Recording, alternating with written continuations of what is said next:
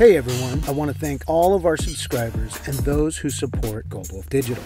If you're enjoying Goldwulf Digital videos, you can show your support by doing a couple things. Number one, make sure you're subscribed to this channel. Number two, hit the notification bell. And three, like and comment. Doing this helps others discover our channel in the sea of videos on YouTube. Hello, good day, and welcome.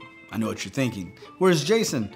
That's not important. What is important is getting you all some helpful information on some new video equipment. More importantly, this 15.6 inch OSEE monitor.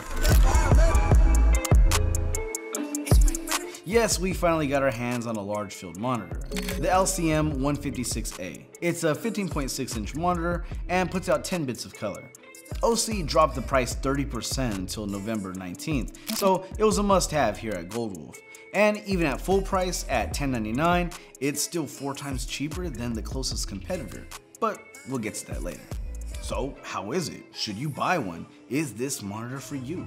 Yes, this monitor is beautiful, well crafted, the image is sharp, and the colors are accurate. Getting your hands on the latest and greatest toys is always fun, but is it the right fit for you? A 15.6 inch monitor is not typical for a single shooter on the field. They probably won't find a large monitor necessary, but one could find it helpful in a studio situation. Interviews and even single show YouTube vloggers can make use of a large screen monitor for accurate framing and focus assisting. Being able to sit down and have your eyes on a big clear image is comforting. In that aspect, the monitor then becomes future-proof for when you make your transition from videographer to director. You might find this monitor helpful because of the large real-to-life frame of view. If you find yourself in any situation where other people may want to have input on what goes into the video, this monitor is perfect. Anyone who's within 178 degrees of view can accurately see the screen.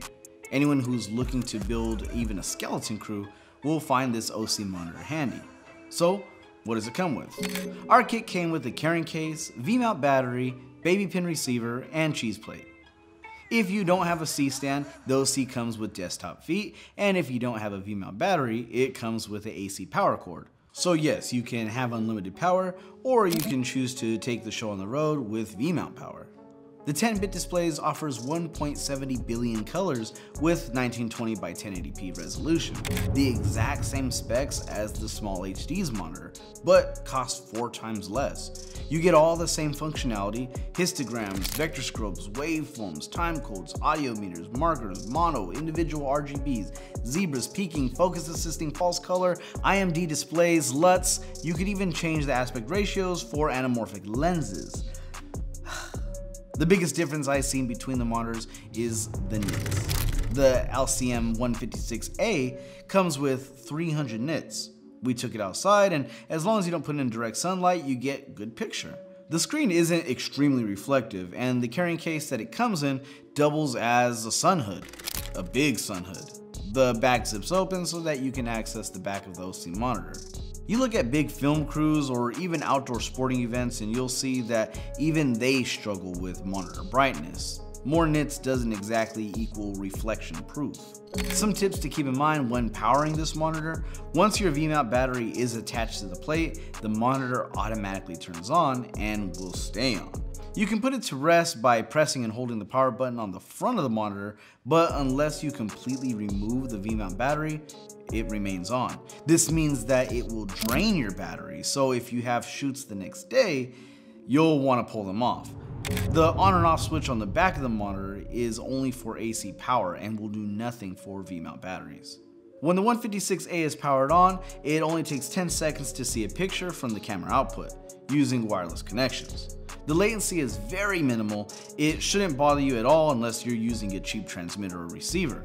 For us, we're using the Teradek which works pretty damn good for latency. Now that brings me to the one and only gripe with the monitor, the buttons. Navigation is easy and the display is simple to understand. If a function has more than one page, it tells you. You can set up four shortcut functions and have up to four user settings stored. But what I don't like is the feedback from the buttons. They're a bit squishy for my taste, and even pressing them normally gives the LCD some break towards the bottom.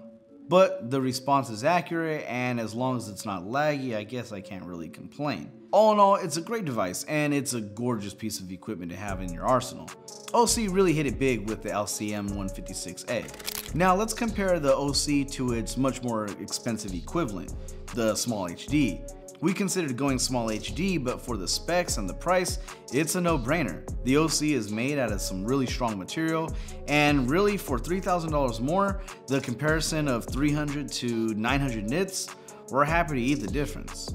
So what are your thoughts on this larger field monitor from OSEE? Will you be adding it before the sale ends? Let me know in the comments down below, and if you like this video, please hit that like button and consider subscribing for more content like this.